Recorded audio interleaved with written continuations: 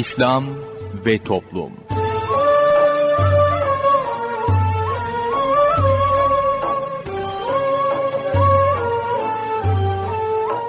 Merhaba sevgili dinleyicilerimiz. Yeni bir programla daha sizlerle birlikteyiz.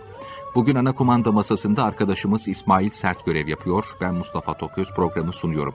Programımıza şiirlerle menkıbeleri yayınlayarak başlayacağız. Daha sonra ilahi dinleyeceğiz. İlahinin ardından günlük sohbetimiz gelecek. Sonra Hayatım romanı dinleyeceksiniz ve son olarak da sorun söyleyelim de Osman Ünlü hocamızla birlikte olacağız.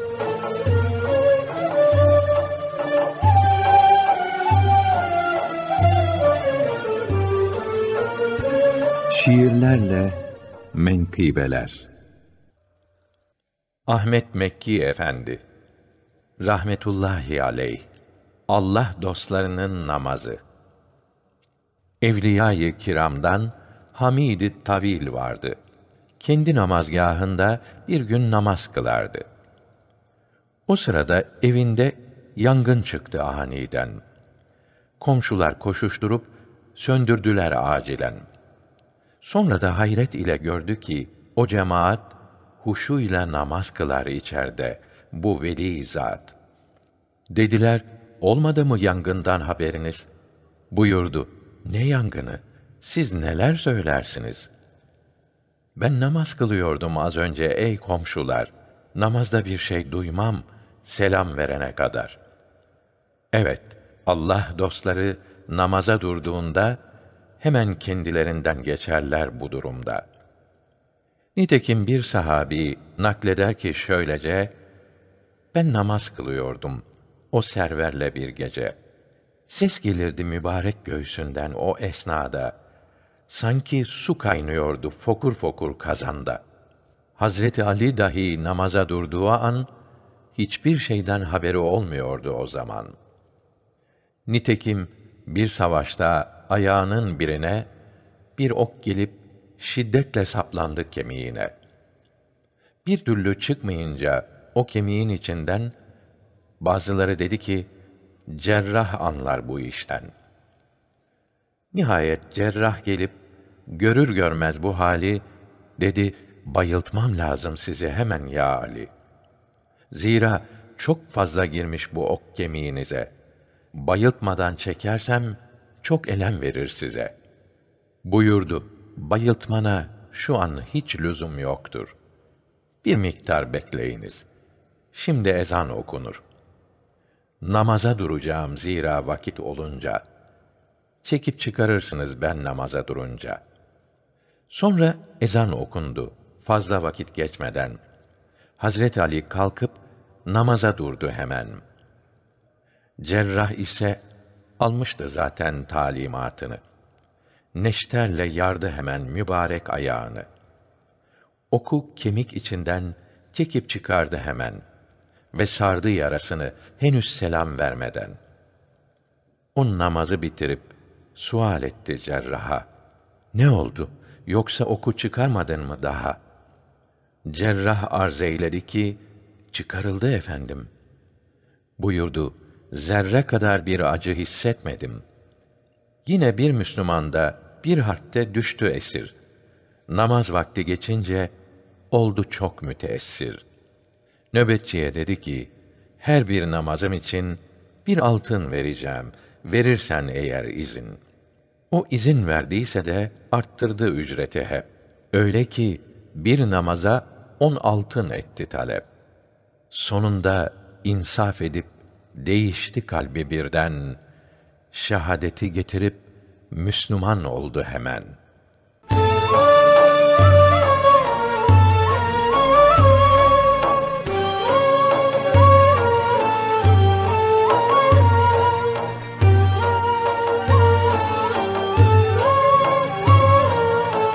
Değerli dinleyenler, sırada bugünkü sohbetimiz var. Sohbetimizin başlığı İmanın ve İslam'ın şartları. Her Müslümanın bilmesi gereken zaruri iman bilgileri, imanın ve İslam'ın şartlarıdır. Kısaca aktarmak gerekirse, imanın şartları şunlardır. 1. Allah'a inanmak. Allahü Teala vacibil vücut yani varlığı lazım olan ve hakiki mabut ve bütün varlıkların yaratıcısıdır. Ondan başka ilah yoktur. Allahü Teala zamandan, mekandan münezzehtir. Hiçbir şeye benzemez. Allahü Teala'nın sıfatı zatiyesi altıdır. Vücut, kıdem, beka, vahdaniyet, muhalefetün lil havadis, kıyam binefsihi. Vücut var olmak. Kıdem, varlığının öncesi olmamak. Beka, varlığı sonsuz olmak, hiç yok olmamak. Vahdaniyet, ortağı, benzeri olmamak. Muhalefetün lil havadis, hiçbir şeyinde hiçbir mahluka, hiçbir bakımdan benzememek. Kıyam bir nefsihi, varlığı kendinden olmak, hep var olması için hiçbir şeye muhtaç olmamaktır. Sıfatı subutiyesi de sekizdir. Hayat, ilim, semi, basar, kudret, irade, kelam, tekvin. Hayat diri olmak, ilim bilmek, semi işitmek, basar görmek, kudret gücü yetmek, irade istemek, kelam söylemek, tekvin yaratmaktır. Bu sıfatları da kadimdir. İmanın şartlarından ikincisi meleklere inanmaktır.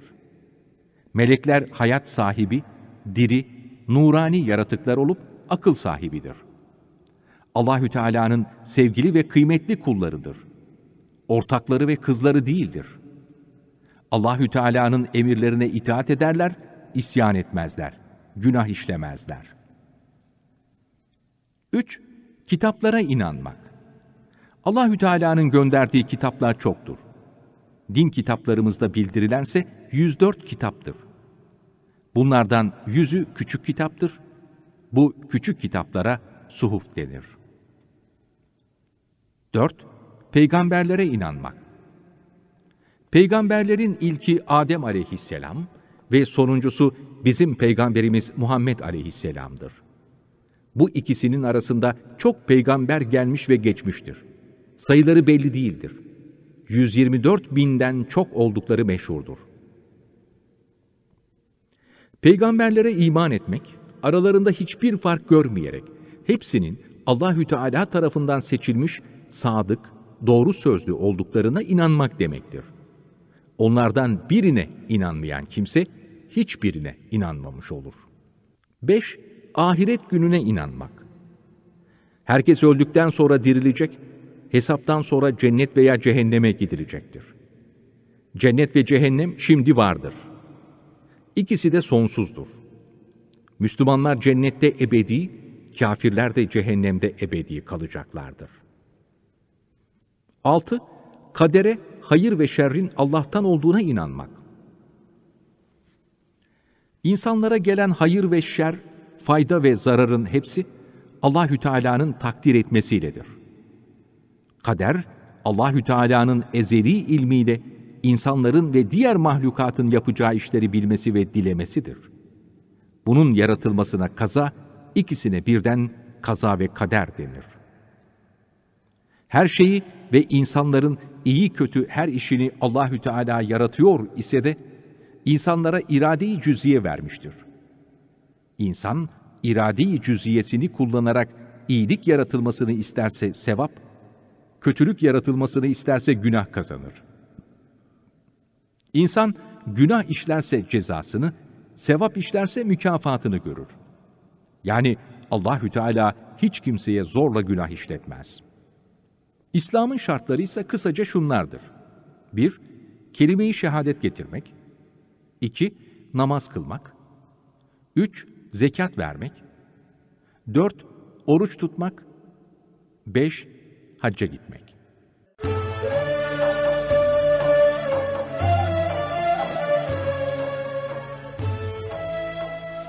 Değerli dinleyenler yayınımıza devam ediyoruz. Sırada sorun söyleyelim var. Osman Ünlü hocamızla birlikteyiz. Hoş geldiniz hocam. Efendim hoş bulduk.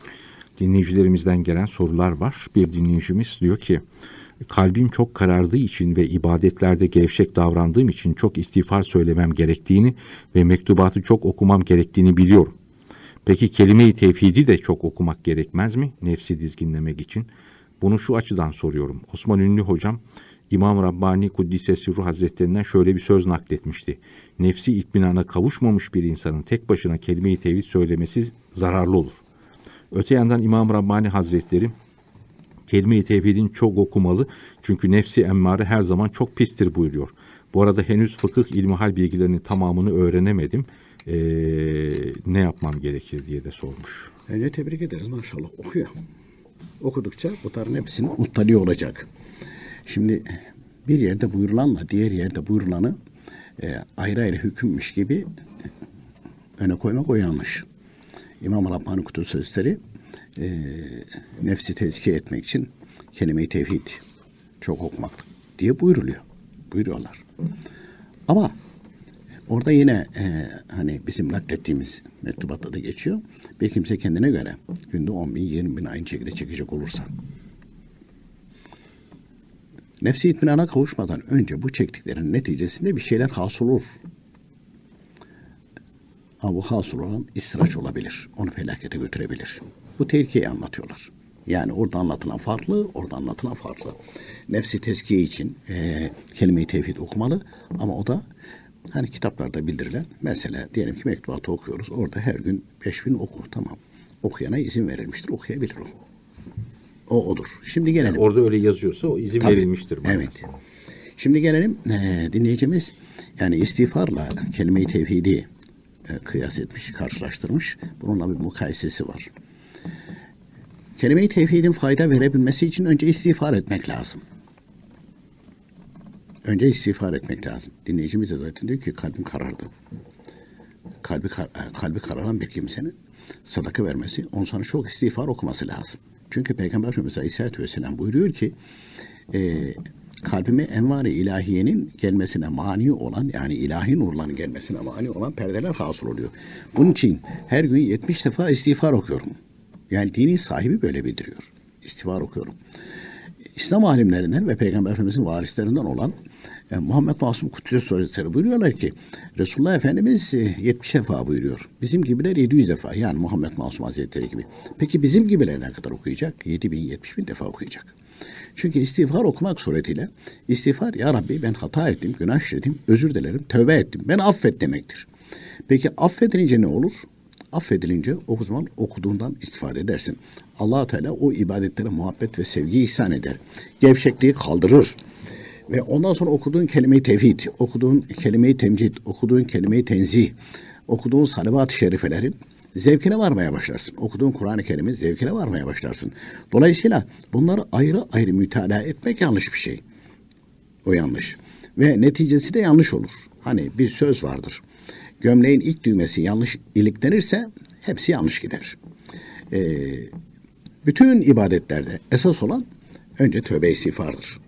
Bunun için ısrarla da mesela Saadet Ebedi'de İslam ahlakında defalarca zikredilmiş. Hatta Hüseyin Hilmi Efendi rahmetullahi teala bu asrın ilacı olarak sanki yazmışlar onları. Kitapların kapaklarına bile yazmışlar. İstiğfar, istiğfar, istiğfar. Niye? Bugün bırak sokağa çıkmayı evin içinde bile. Cebinde çünkü telefonun var. Her an gözünle, kulağınla haram işlememe mümkün değil gibi bir durum söz konusu. E bunların tedavisi nasıl olacak? İstiğfarla tedavi olur bunlar. Peki bunlar tedavi olmazsa, tedavi olmazsa, izale edilmezse, Yok edilmezse. yok edilmezse o zaman senin kelime-i tevhid söylemenin faydası olmaz ki. Onun için bugün hastası olan da istiğfar edecek. E, Çünkü istiğfarın içerisinde aziyet var. Niye kendini hiç kabul ediyorsun? Hatalı, kusurlu kabul ediyorsun. Allah-u Teala arzın var. Özür diliyorsun. Ha, özür diliyorsun. Ama kelime-i tevhid söylerken öyle değil. Orada e, mesela gelip de ben sana övünebilir miyim? Ben bugün beş bin defa istiğfar okudum falan. E, senin hatırına gelebilecek olan benim geliyor da senin hatırına gelmiş gibi söyleyivereyim. Çok mu günah işledin? Değil mi? Çok mu günah işledin? E peki öyle değil de ben beş bin defa kelime-i. Oo maşallah mübarek olsun falan.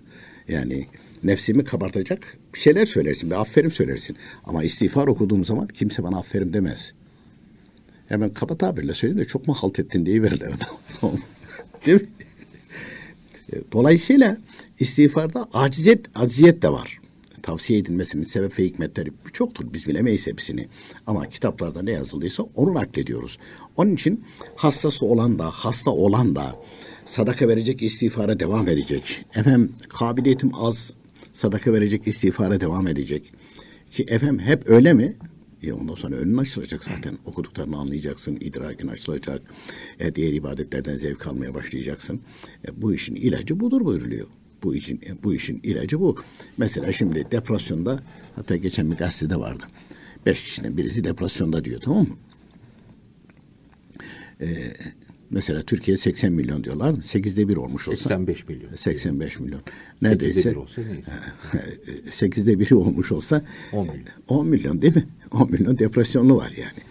E peki bunun için e, tabii ilaca gideceğiz, ilaç alacağız, doktora gideceğiz. Ama Saadeti Ebediye buyuruyor ki, buyuruyor ki Besmele ile her gün bıkmadan, usanmadan, sabırla Bismillahirrahmanirrahim ve la havle ve la kuvvete illa billahil aliyil azim. Biz şimdi zannediyoruz ki hani ağrı kesici atıyoruz, ağrım gidiyor falan tamam. Böyle bir şey zannediyor. Hayır. Buna bir gün değil, iki gün değil, beş gün değil, bir ay değil, iki ay değil, devam edeceksin. Böylece böylece e, e, yani bu e, bunu böyle söyledikçe bir hem sinirlerin kuvvetlenecek. Ondan sonra ikide bir zıt bir sinirlendiğin şeylere karşı hele bir dakika dur bakalım demeye başlayacaksın. Şimdi hatırına gelen ne varsa hepsini sayıyorsun, döküyorsun. Etrafındaki aynı şekilde kırıp döküyorsun falan. E ondan sonra ben depresyondayım. E, depresyona girersin. Girmemene şaşılır zaten. E, onun için istiğfar ve la havle. Bunu çokça mı okuyacağız? Evet çokça okuyacağız. Ne için? Ruhen ve bedenen sıhhate kavuşmak için. Bir başka soru. Ee, evde beslediğimiz kediyi hayvan barınağına bıraksak günah olur mu? Yok günah olmaz. Niye günah olsun da. Ee, ama e, şunu da unutmamak lazım. Bakamayacağın, yapamayacağın işe başlama. Eğer yapamayacaksan, bakamayacaksan e, hiç o işe girme. Hiç o işe girme. Aa, Baştan efendim. girme. Ha, baştan girme tabii. E şimdi daha önce kedi besledin mi? Daha önce köpek besledin mi? Daha önce kuzu, koyun neyse besledin mi? Dana besledin mi? E bu hayvandır. E, Mustafa Bey ben köy çocuğuyum. Ya bırak hayvanı. Mesela oturduğun yerde ya bir bahçem olsa şimdi. Oo şimdi her taraf yer yeşil. Ya bir yeşil olmaz. Bakarsan bağ bakmasan dağ diye laf olsun diye söylememiş atalarımız bunu. Her gün aynen o da canlıdır. Bizim bir e, hemen e, köyün dibinde aşağısında ismine de böyle kötü bostan derlerdi falan bir bahçemiz vardı. Dayımlarla beraber e, müşterekti. Ya her gün babaannem rahmetli oraya girerdi. Domatesin kökünde işte birkaç e, şeyle yani fazla değil yiyecek kadar ekilirdi. Salatalık ekilir, domates ekilir. E, evde ye, tüketilebilecek soğandı, maydanozdu. Ya her gün işte ot mu oldu, susuz mu oldu? Aa bunun yaprakları şey yapmış. Hemen su verelim buna. Her gün bakım ister o. Her gün bakım ister o. E, hayvanlar da öyle. Ya durup durduğun yerden, e, durup durduğun yerde kuzuya, kuzuya ondan sonra oğla tamam sevimli varlıklardır. Ama bakım gerekir. E, kedimiz de vardı bizim. Ve kediye de bakım gerekir. E, onun yavrusu olur, bilmem ne olur. Onların aynı şekilde temizliyor, bilmem ne olur falan. Bıkmadan, usanmadan onlar seni meşgul edecektir. E, bu bakımı yapamayacaksan, bu yükü kaldıramayacaksan hiç girme. Değil mi? İnsanlar kendi zevkleri için, çoluk çocuğunun zevkleri için hayvanlara eziyet etmiş oluyorlar. Alıyor şimdi bir hevesle, çocuğu istemiş. Onu alıyor evine. E, 3-5 gün sonra da evin hanımı rahatsız olmaya başlıyor. Niye? Çünkü tüy dökülüyor, şu oluyor, sağa sola Tabii. falan diye. Böyle olmasa bile e, bu sefer de ne yapıyorlar? E, dışarıya bırakalım. Dışarıda şu anda evden atılmış o kadar çok köpek, kedi var ki yani aklımız hayalimiz durur. Bir de yeni kanunlar falan çıktı. Bir de e, yaşama imkanları zor. Yani Mesela yazık benim, ama yap, bakamayacaksan alma yani. benim evimde de var muhabbet kuşu. Yani balkona koysam kapağını açsam dışarı gidecek. Ama bir saat devam eder mi etmez mi? Ben ona hazırlanmış ayağına yem veriyorum. Ağaçlardan şuradan buradan yani ekmek kırısı mekkanısı yemiyor hayvan. Görmedi ki alışmadı ki ona. Sunni yem. Kediler de öyle. Kedi maması veriyorsun dışarıya salıyorsun böyle. Et koyuyorsun ete de bakıyor ekmeğe de bakıyor. Hayvan açlıktan gider ve bir de, bir de dışarıda sokakta alışmış kediler bunları iyi döver yani. Savunamaz ki kendini. Tabii gel bakalım hanım evlat derler. Canlı okurlar. Onun için de yani kuş da alsan, balık da alsan, kedi de alsan e, netice itibariyle bakımını bilirsen yap. Bir zamanlar e, kendi çocukluğumda şey yapıyordum. İşte bir tanesi tavuk çiftliği kuruyor falan. Şimdi Mustafa Bey bizim tamam e, köyde herkesin tavuğu olur. Ama özel bakım istemez bu. 8-10 tanedir. Bahçede. Ha, bahçede. Onlar şey yaparlar. e, Herkes evine gelir şey yaptığı zaman özel bir bakım istemiyor. Ama sen tavuk arası kurduğun zaman özel bakım gerekir. E, hayvanın yemi bitti mi, suyu bitti mi, ondan sonra ışığı gitti mi, soğuk mu oldu, sıcak mı oldu, bilmem ne mi oldu falan, feşmekanda falan. Şimdi seralar var mesela. E, kışın adam domates yetiştiriyor, salatalık yetiştiriyor falan. E, seranın ısısı düştüğü zaman o domates, salatalık e, soğuğa karşı dayanamaz ki. Mesela sonbaharda e, babaannem rahmet derlerdi. Kırağı düştü artık bitti diye. Kır- O çiğ düşüyor. Çiğ. düşünce o bitki çok zayıftır. Dayanamaz ona. Küt diye gidiyor. E şeyde de mesela Nisan ayında falan kar yağdığını ben hatırlarım. Çiçekler, ha, çiçekler açmıştı. Bir kar yağdı. Aha gitti derlerdi. Kayısı, erik, elma ne varsa hepsi gitti, derler. Tamam mı? Çiçekliklerin hepsi gidiyor zaten. Çok naziktir ona karşı. E bazıları dayanıklıdır. O ayrı bir mesele. Yani bunu bilmen lazım. Her konu böyle. Ticaret de böyle. Ve döndük dolaştık getirdik. Dini konularda böyle. Eğer altyapın oluşmazsa yanlış anlar, yanlış hüküm verir ve yanlış yere kendini sevk ettirebilirsin. Başkalarını da sevk ettirirsin. O da onun da senin de felaketin olur. Allah Teala korusun. Bir başka dinleyicimizin de şöyle bir sorusu var hocam. Diyor ki e, benim kocam diyor iki kız dört erkek toplam altı kardeşler. Kayınvalidem kayınpederi vefat edince hepsini evlendirip ev bark sahibi etmiş. Şimdi kayınvalidem bizimle oturuyor öldüğümde bu ev sizin diyor. Ama ortada resmi bir vasiyet veya bununla ilgili bir belge yok. Şimdi sorum şu. Kayınvalidemin vefatı halinde bizim bu evi alma gibi bir hakkımız var mı? Kocam diyor ki kız kardeşlerim hakkını isterse veririm. Ama abilerimin hepsinin evi var onlara vermem. Ben de dünyalık için kul hakkına gireriz diye korkuyorum. Dinen böyle bir hakkı var mı diyor. Şimdi e, kadıncağız açık net bir şekilde bunları hediye etmişse Diğerlerinin de bundan haber olması lazım değil mi? hem haber olması lazım. Fakat bu zamanda bunu tescil ettirmeleri lazım. Yani tapusunu vermedikten Tapusunu sonra ve mutlaka problem Ha, çıkar. Dolayısıyla yarın e, bu kadıncağız vefat edince devlet hemen devreye girer. Bunu mirasçılar takır takır takır bölüverir. Onlar derler ki devlet verdi. Zaten de o da hazır bekliyor bazıları. Tabii canım, tabii. Hazır bekliyor zaten. Devlet versin diye Tabii bekliyor. devlet versin diye bekliyor. Takır takır ver verir. Onun için dünyadayken ben vermem falan. Ya vermem diyorsun da e, hele böyle bir tapu senin üzerinde değilse rahatla aynı şekilde alır. Bırak onu. Öldükten sonra bile işte bunun kafası kontaktı. İşte şuuru yerinde değildi. E, kabirden DNA testi. başında değildi. Dey, e, deyip mahkemeye bile veriyorlar. Onun için hayattayken herkese söylemeli. Herkese e, bildirmeli. E, ve e, o çocuklara demeli ki ben tapuyu bu kardeşinize veriyorum. Haberiniz olsun. Gitsin tak diye kılıp tapuyu versin ve bitirsin. O zaman bunların olur. Bu işleri öyle yapmak lazım değil mi hocam? Yani e, birisi hani vasiyetle e, şimdi adam diyelim ki varlıklı birisi, variyetli birisi e, birçok malın maşadı var. Diyor ki ben öldükten sonra bu malımın maşadı benim çocuklar diyor hayırsız diyor. İşte filanca kuruma, hayır kurumuna verin işte Mehmetçik Vakfı'na bağışladım. Ondan sonra öyle bir problemler çıkıyor ki. Yani kimse onun o Mehmetçik Vakfı'na bağışladım lafına zaten bakmıyor da. Dinen de bunun bir hükmü var mı hani bağışladım demenin yani bu belgelendirmeden.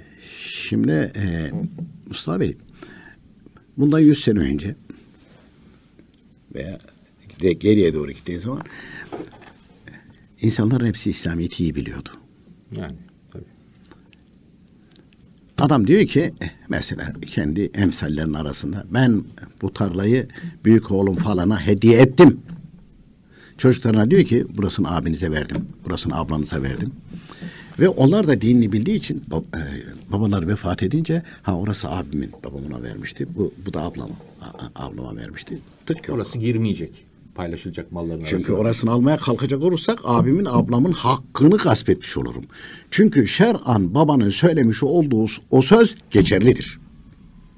Ama şimdi değil. Şimdi din gayret diye bir şey yok. Hani zaman zaman aynı şekilde anlatıyoruz ya bir avukat arkadaş adam kendi kalemiyle attığı imzayı ıslak imza diyorlar. Bu benim değil diye inkar ediyor tamam mı? Bu benim değil, değil diye inkar ediyor.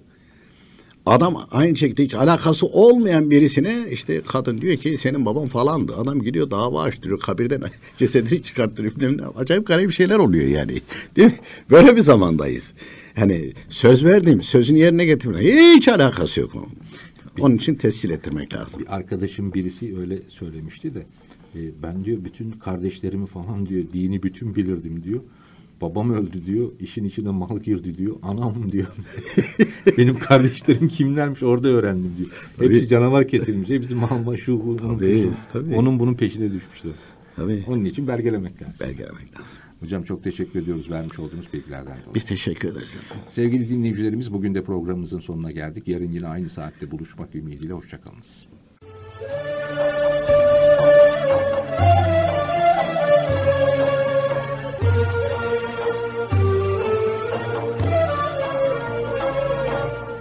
İslam ve Toplum